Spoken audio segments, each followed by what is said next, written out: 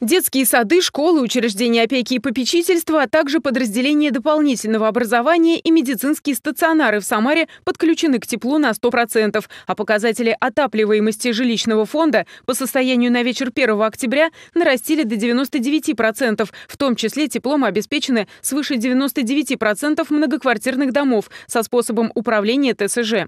Таким образом, всего за полторы недели подключили к теплоисточникам 10 134 жилых дома. Глава города Елена Лапушкина подчеркнула, что в этом году подключение тепла началось очень рано, при этом темп подачи отопления рекордный, выше, чем в предыдущие годы. Все теплоисточники у нас работают и э, дома практически подключены. У нас остаются дома, которые у нас располагаются на переврестках и там, где идет регулировка уже управляющими компаниями, домами ТСЖ, где уже идут внутренние работы. В эти выходные уже совершенно точно у нас все дома получат отопление. Безусловно, и штаб не прекращает свою работу.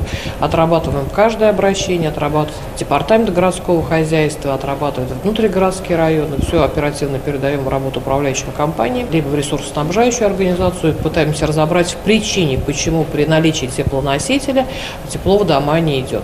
В зонах завершающихся переврезок со старых сетей на новые в ходе модернизации теплотрасс идет работа по заполнению магистральных линий, после чего теплоснабжающие организации запускают теплоноситель по внутриквартальным сетям.